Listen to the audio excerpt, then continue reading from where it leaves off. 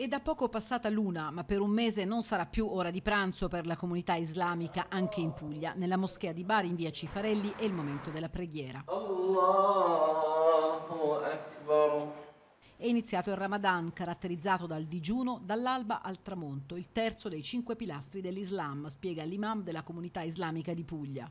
Il terzo pilastro dell'Islam eh, significazione sua molto importante, fondamentale per una persona quelli fanno sentono veramente Ramadan che significa, specialmente fa insegnare alle persone avere timore di Dio, avere la pazienza, avere eh, sentimenti per le altre persone. Dura un mese, difficile stabilire il giorno esatto dell'inizio del Ramadan perché si rispetta il ciclo lunare sia per l'inizio che per la fine. Gli uomini, secondo il Corano, possono solo matematicamente prevedere una data, ma tutto è affidato ad Allah.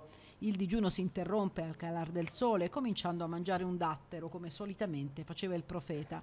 Il significato dell'astenersi dal mangiare, bere, fumare e praticare attività sessuale è permettere al fedele di purificarsi. Il digiuno per noi è una cosa veramente eh, pulisci, eh, pulisci l'anima, l'anima più eh, il corpo anche perché in, quando già anima pulito sarà anche il corpo pulito. Akbar.